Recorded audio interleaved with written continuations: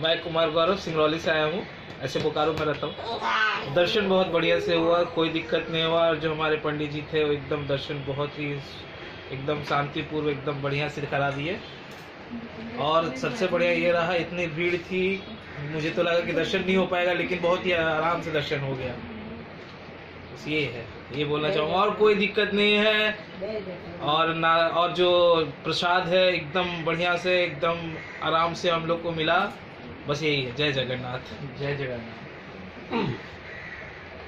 बोलो। आप बोलते हैं दिल्ली से आए हैं? हम वीरेंद्र दिल्ली से आए हुए हैं। आराम से दर्शन हो गया। आराम से बहुत ही बढ़िया से दर्शन हो गया। जय जगन्नाथ। सब जय जगन्नाथ बोल दीजिए। जय जगन्नाथ। जय जगन्नाथ।